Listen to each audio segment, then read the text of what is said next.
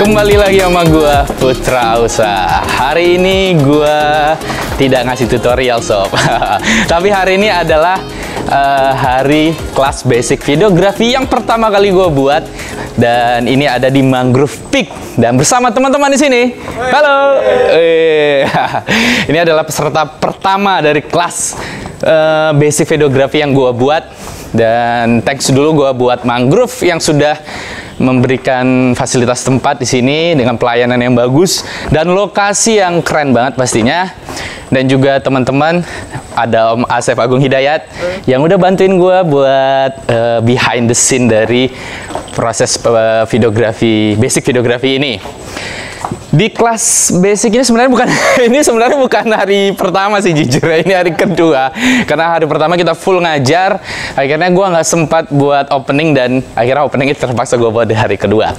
Di hari pertama seperti nanti akan kalian lihat gua ngajarin eh, secara teori bagaimana setting kamera yang benar untuk videografi lalu belajar tentang kamera lensa lensa pilihan lensa yang baik buat videografi lalu apa itu komposisi apa itu eh, frame per second, apa itu tentang angle shoot. Pokoknya banyak hal basic utama yang ingin gue kasih kepada kalian karena ini adalah hal poin paling penting yang menurut gue banyak dari kalian eh, lupakan.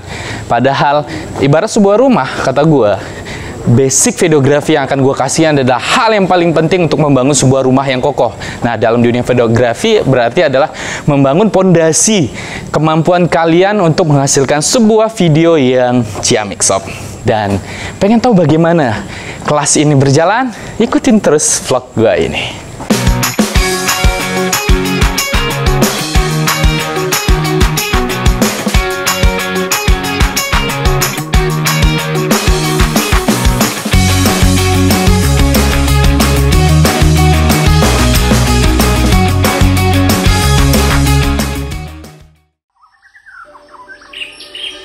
Basic videografi adalah hal yang paling penting untuk membuat sebuah video yang baik. Yang kebanyakan gue perhatikan orang sering anggap sepele. Padahal tanpa sebuah basic videografi, kalian mustahil buat video yang baik. Di mana pemahaman tentang segitiga exposure, tentang komposisi, tentang angle shoot, tentang frame rates, dan sebagainya, itu harus kalian pahami. Kalau kalian tidak memahaminya, pasti kalian tidak akan pernah bisa buat video yang bagus. Kegiatan kelas ini bekerja sama dengan Taman Wisata Alam Mangrove Angke Kapuk, di mana selama dua hari proses belajar mengajarnya akan kita laksanakan di sini. Segitiga exposure itu pasti ada di semua kamera, mau smartphone, mau action cam, apalagi kamera-kamera profesional seperti ini, mirrorless dan DSLR, itu udah pasti. Nah, perbedaan bukan perbedaannya. Yang harus kita pahamin tentang uh, segitiga exposure ini adalah ketiga elemennya yang saling uh, terkaitan. Jadi kenapa disebut tiga exposure ini tiga? Karena mereka ini ada tiga juga saling uh, saling berkaitan. Kalau kalian atur misalnya shutter pasti akan berpengaruh terhadap ISO sama aperture misalnya. Salah satunya pasti akan terpengaruh. Sebaliknya kalau kalian atur ISO pasti akan berpengaruh terhadap shutter sama aperture. Begitu aja terus. Mereka ini akan saling berkaitan. ini penting Nah, ini shutter speed lo kerendahan nih Ulan. Patah-patah gambar. namanya tapi tetap zebra pasti dong. Zebra, itu udah standar. Nah lo, anggap ini udah 2000. Gelap kan? Terus kalau menurut logika lo apa yang salah tuh? Untuk membantu pencahayaannya kembali bisa. Tapi shutternya wajib di 2000 gitu. ISO-nya nanti. Apa? F-nya nanti. Iya. Salah satu solusinya adalah F-nya kalau punya. Tapi ingat harus dengan lensa yang mendukung. Kalau mentok baru ISO. Jadi itu dia. Normal nggak? Dia lensa itu adalah hal pertama yang dimasuki cahaya. Diafragma yang bukanya besar berarti memberikan cahaya yang masuk besar ke dalam sensor. Ini sifatnya tidaklah wajib atau pasti. Art itu tidak seperti kotak yang bisa dikotakin. Art itu bisa aja berkembang. Ini sama gue letak di kiri. Kenapa dia kan melihatnya ke arah kanan? Maka ruang kosong ini harus terjadi. Jangan dibalik, jangan dia di ada sebelah kanan.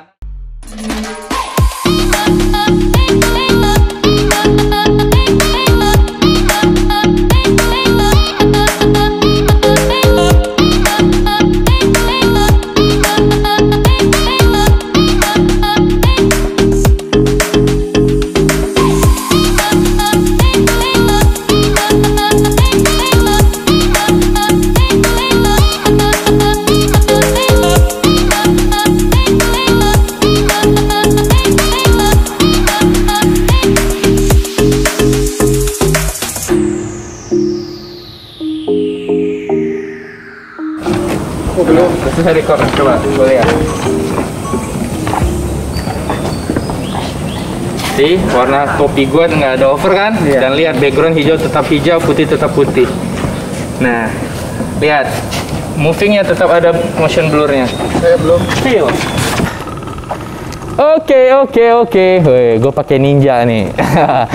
Kita lagi pada ngerjain PR soal ngatur segitiga exposure, bagaimana mengatur pencahayaan yang pas supaya antara brightness dan shadow-nya seimbang. Jadi high gitu dengan shadow, jadi sisi yang terang dengan sisi yang gelap itu jangan terlalu ada yang over, jadi pas.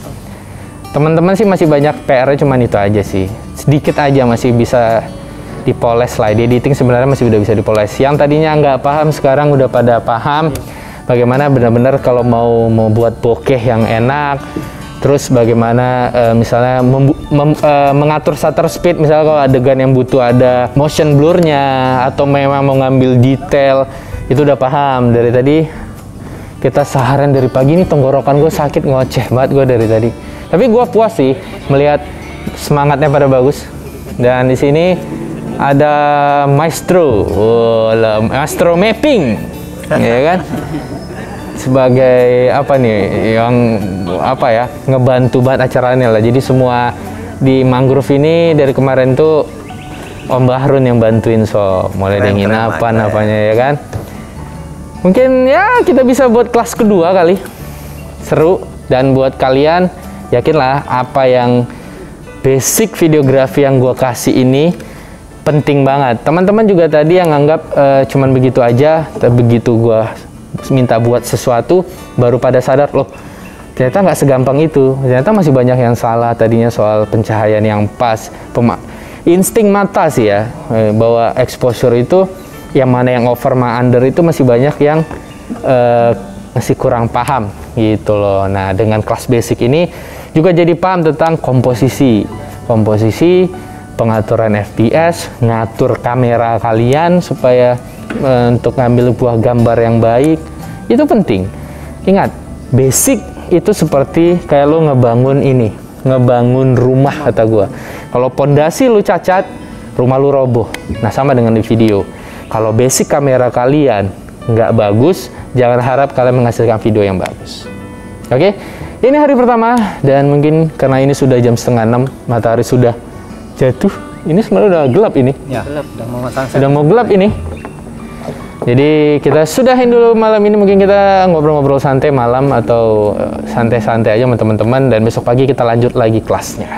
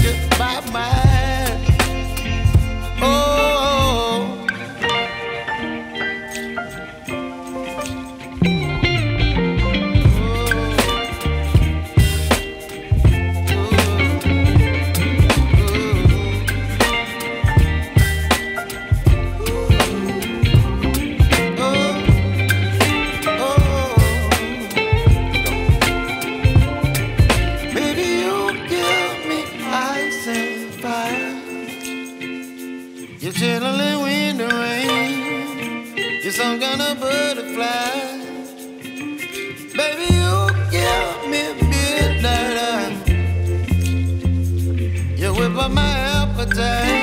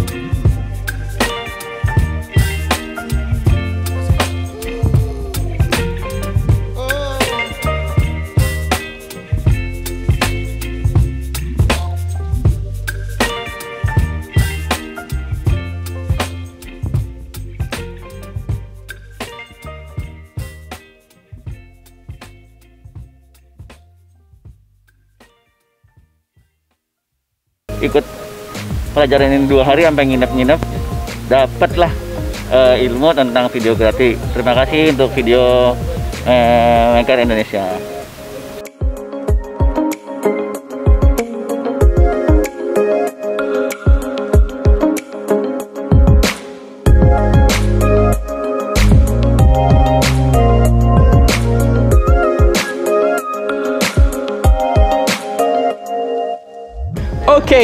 itu dia tadi kegiatan gua selama di Mangrove Peak selama dua hari bersama teman-teman.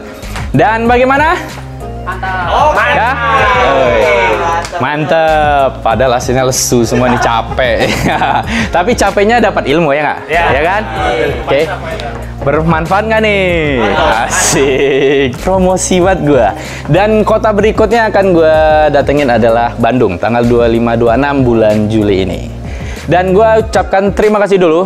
Di situ ada Om Bahrun yang eh, udah ngebantuin semuanya kegiatan di sini di Mangrove Peak pastinya dan Oh ya, Budipa, thank you buat dari eh, Mangrove ya, gue ya. Ya, thanks buat Mangrove yang udah memberi fasilitas yang wow banget dan kalian yang selama dari tadi nonton vlog ini lihat bagaimana fasilitasnya, enaknya, nginepnya juga. Dan saat ini harganya lagi murah loh. Promosi banget gue ya. Oke, jadi mungkin segitu aja vlog gue hari ini buat kalian dan semoga jelas ini bermanfaat buat kalian. Dan sampai ketemu lagi di vlog gue lainnya. Dadah. Lesu. Kawan kan, kawan kan. Ketahuan capek mereka ya.